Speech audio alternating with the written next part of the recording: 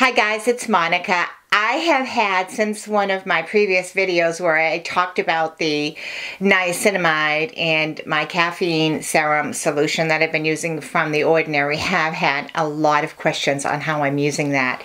So I thought I would just do the short little video because I've had people say, oh, you know, you really can't use your niacinamide, you know, with your retin-A and all of that stuff. And so I, I just want to say that any skincare that you decide to use or to try, you really should investigate and check it out and feel comfortable with it and make your own decision. So what works for one person doesn't often work for the other person. I found that out the hard way with foundations, etc. You know, like what people rave about, I try it and it's like, oh my gosh.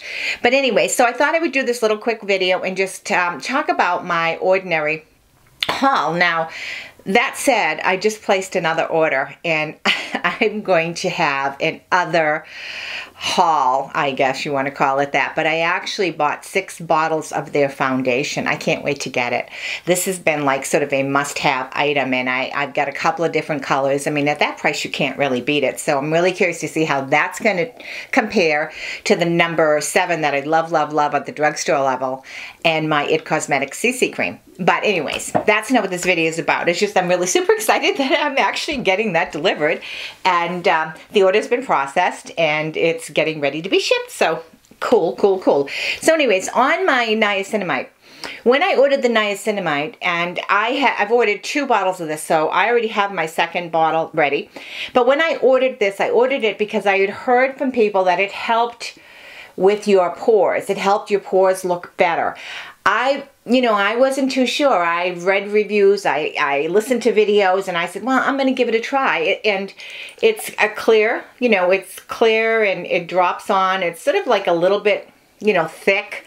But um, I ended up calling, no, I'm sorry, I ended up emailing the Ordinary, the company, and I asked the question. I said, I use Retin-A at night and I would like to apply or use the niacinamide. And I know you cannot use it in conjunction, at least everything I've read, with vitamin C. They don't play well together. So I was told that I could go on a regimen after I clean my face and then I could put on my clean skin the niacinamide on those areas of my face that I'm concerned about, which is my nose and some of my chin pores. So I would put it on and they said, let it sink in.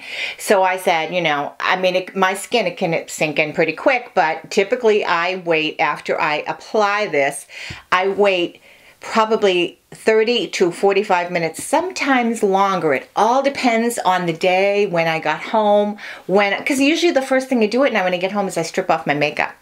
So, um, and then I, I apply that on at night. Now, about 45 minutes later, on average, sometimes not so much, sometimes, yeah, I, you know, a little bit longer.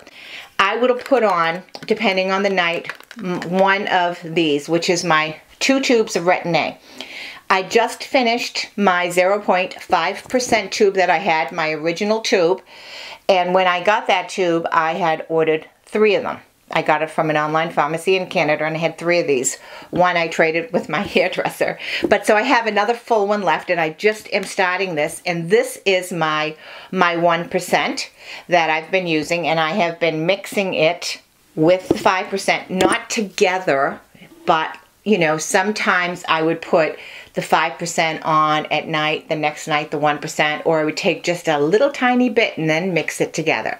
But I didn't take a full size of each and mix it together. I wasn't looking to do that. I was actually looking to make the 1% a little less strong. So I would take that, a little tiny pea size, depending on the night, and I would just dab it on my face and then, you know, just rub it in. And at the same time, as soon as I had that on my face, typically what I do is I take, and I have a, um, a Benigma dupe, and there are other Benigma dupes out there. If you if you are into Benigma and you love it, awesome.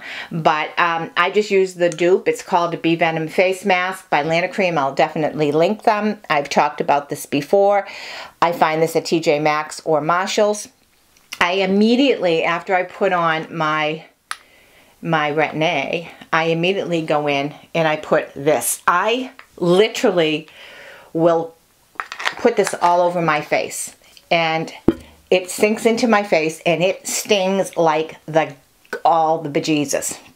Absolutely stings me like crazy. Then I usually go to sleep. I wake up in the morning and, and it really has eliminated a lot of my peeling that I was having. I'm also not doing this every night. You know, I alternate one night on, one night off. Sometimes it's two nights on. It all depends on how my skin is looking. But since I've been putting the cream on, it's really helped with the peeling and the flaking. And I feel the niacinamide I can't tell you if it's working. I, I don't know. I'm not a chemist. I have no idea. But the company said it was perfectly fine for me to put it on my clean face, let it sink in, and then later, after this has done its duty, basically sunk in, apply my Retin-A. I don't use it in the morning. I do feel that I visually have seen a visual difference on my pores. Whether it's really shrinking my pores, whether it's a temporary thing, I don't know. But there is a more of a smoothness on my nose that I've noticed since I've been using this. So I'm loving the effects of this, absolutely.